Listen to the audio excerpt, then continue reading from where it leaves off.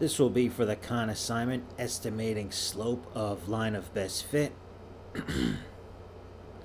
so for all of these, um, they have a write-up. You probably don't need to read it in most cases. We'll just read the first one. Baruti, a ranger in Kruger National Park in South Africa, collected data about the elephant population in the park. She compared the foot lengths of the elephants and their shoulder height, both in centimeters, and created the following scatter plot. Okay, so we can see foot length here and shoulder height here. Which of the following is the best estimate of the average change in shoulder height associated with a one centimeter, one centimeter increase in foot length? Okay, the bottom line for all of these is that we're going to have to find and interpret the slope. All right. So if you remember the formula for slope, it's going to be change in y over change in x. All right. But in this case, y, the y-axis here, is the shoulder height. So it's going to be it's going to be the change in shoulder height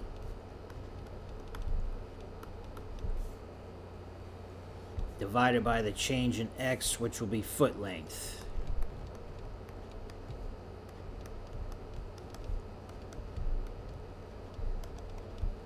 Okay, so for this problem here, they're asking for the average change in shoulder height associated with a one centimeter increase in foot length. All right, so it's basically change in shoulder height over change in foot length, which is the slope. So for all of these, it's going to be the same. You have to find the slope. All right.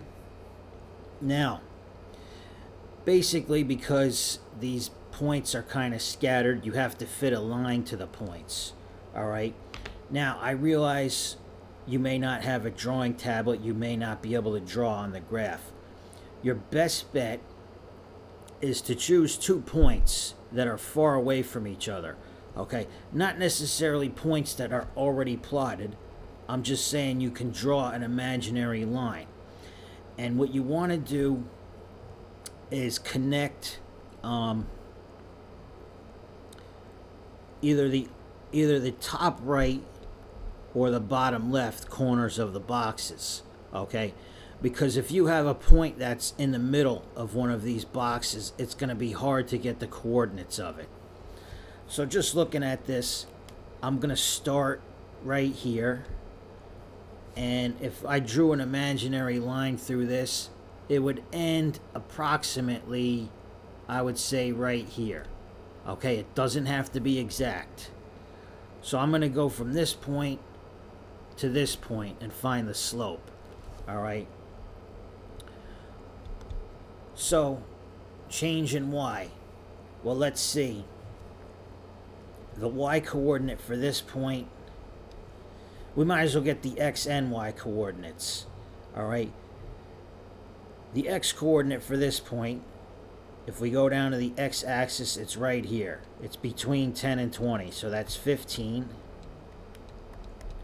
And the y coordinate, go to the y-axis, it's 80. So that's 15 comma 80. And then this point here, the x coordinate, it's the one just after 50. So this is 55.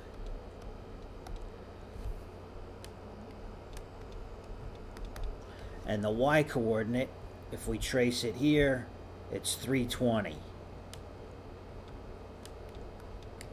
Okay, so now it's pretty easy you just subtract the y's and subtract the x's. Okay?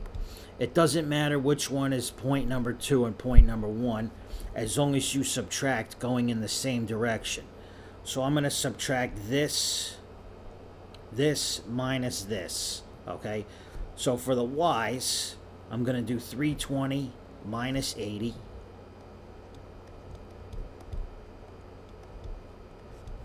And for the x's, I'm going to do 55 minus 15. Okay. So 320 minus 80, that's going to give us 240. 55 minus 15 is going to give us 40.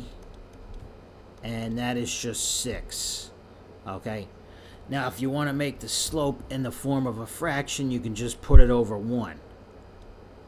So we can say 6 over 1. Okay.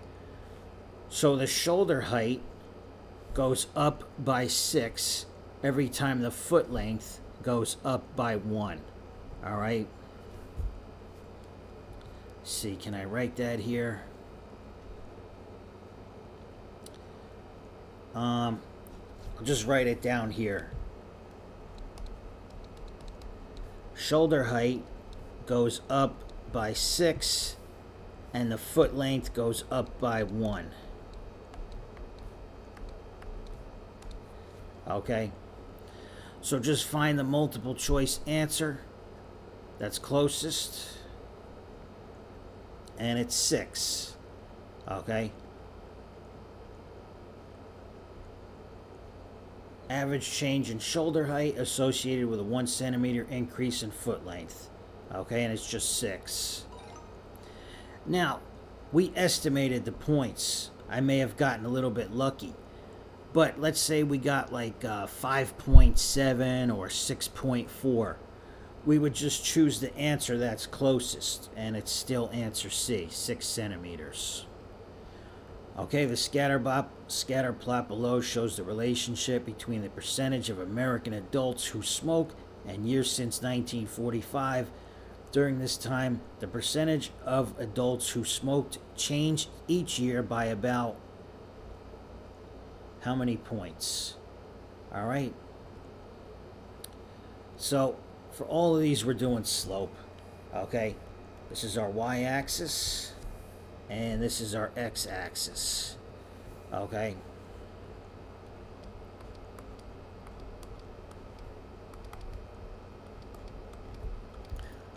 So we're going to subtract the y's. And we're going to subtract the x's. All right. So again, grab two points. All right. I'm going to start at about this point right here. And if I were to draw an imaginary line, just pick two points that are far away from each other. I'm going to go to this point right here. Okay, it doesn't have to be exact. So for this point right here, the x coordinate of this point is 35. And the y coordinate for this point is 20. Alright, and for this one here, the x coordinate, of course, is just 0 because it's on the y-axis.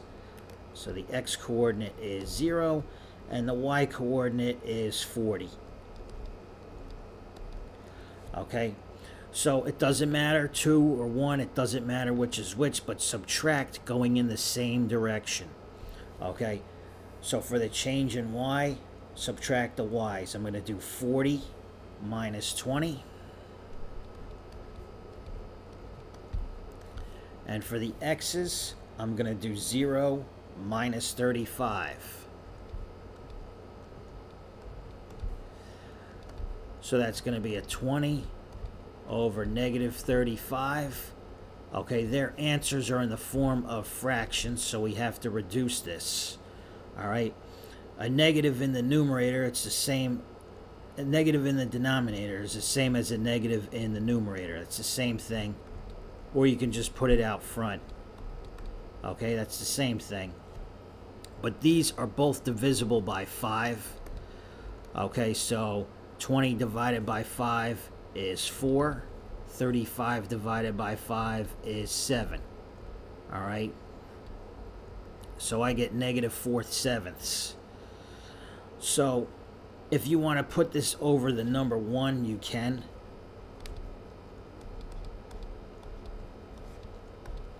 All right. And the change in Y is the percentage of adults who smoke. The change in X is the year. So it goes down by negative 4 sevenths every time the year goes up by 1. So what's the closest? They said the percentage of adults who smoke change each year by about which one's closest to negative 4 sevenths? If you were to do decimals for negative 1 half, this is negative 0.5 and this is negative 0.25, right? It's just one fourth. I think this one is closest. Let's see. If I did negative 4 sevenths on the calculator,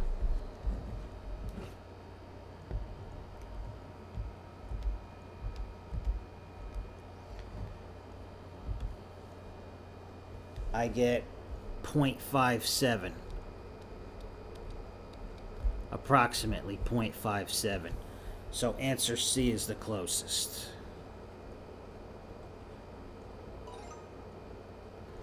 All right one more. The plot shown below describes the relationship between the age of drivers and the number of car accidents per 100 drivers which of the following is the best estimate of the average change in the number of accidents associated with a one year increase in age. Okay, so let's see. Slope, it's always going to be slope.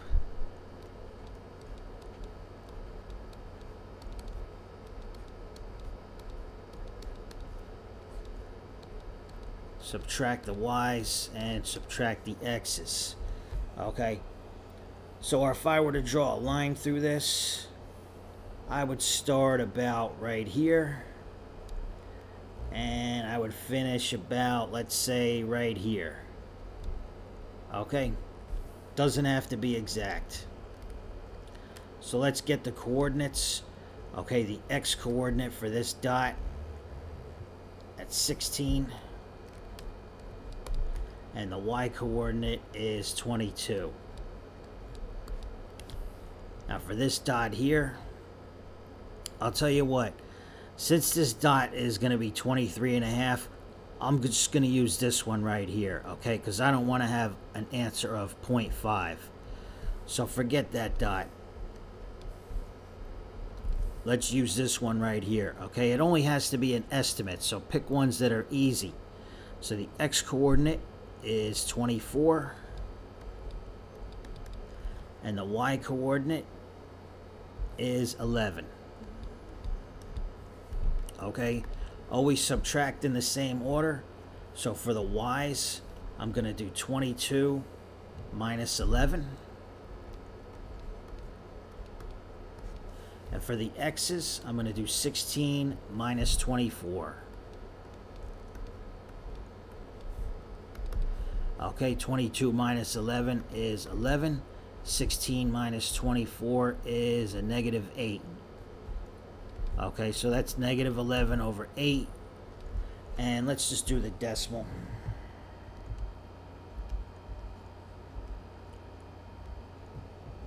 On the calculator, I get 1.375.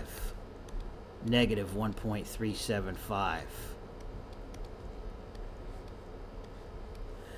That means the number of accidents per 100 drivers, it goes down by this much every time the year increases by one, right? Because you can put this number over one. So let's see which one matches. Negative 1.375. Okay. If we convert this, it would be negative 1.5 and if we convert this, it would be negative 3.5. And of course, 1 half would be negative 0.5. So which one is the closest to this? I'm going to say this answer right here is closest.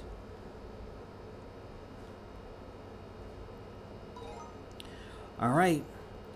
So just estimate the slope, and that's basically it. Okay, and if you don't want to, if you don't want to do the points, if you don't want to get the coordinates, you don't really have to. You can just start here and end here and see what the change see what the change in y is. That's delta y for change in y. And then see what the change in x is. Delta x for change of x. All right so get this distance right here and get this distance right here and you can get your slope